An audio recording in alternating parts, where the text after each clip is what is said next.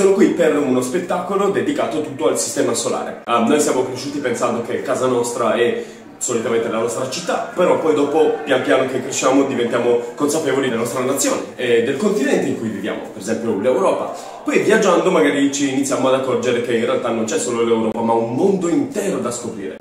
Io sono qui per raccontare che in realtà casa nostra non è solo la Terra, ma è l'intero sistema solare. Casa nostra è anche uh, Marte, la Luna, Giove, Plutone. Tutti questi posti sono la nostra famiglia di meravigliosi, strani posti intorno al Sole.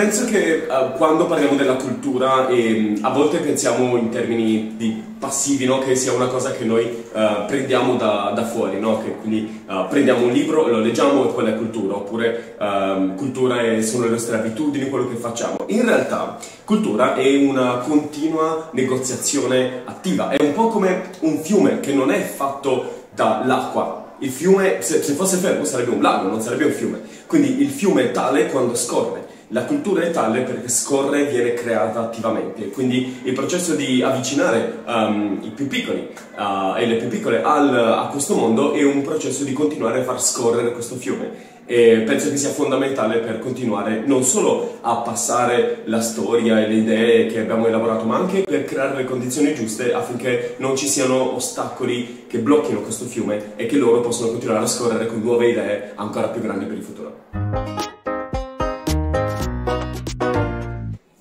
Non morire. Noi siamo l'unico modo che l'universo ha per potersi capire, guardare.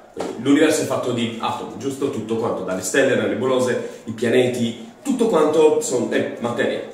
Um, quindi noi siamo l'unica forma di materia che aggregata in questo strano mondo riesce ad avere pensieri riguardo a tutto quanto. Um, immaginate un po' come il vostro cervello che pensa chi siete e quindi guardando le vostre mani vi riconoscete. Uh, noi siamo così come parte dell'universo. Quindi la notte, quando guardate le stelle, in realtà non siete voi che guardate l'universo, è l'universo che si guarda e cerca di capirsi e si fa domande riguardo a sé e per farlo ha un breve istante di vita appena.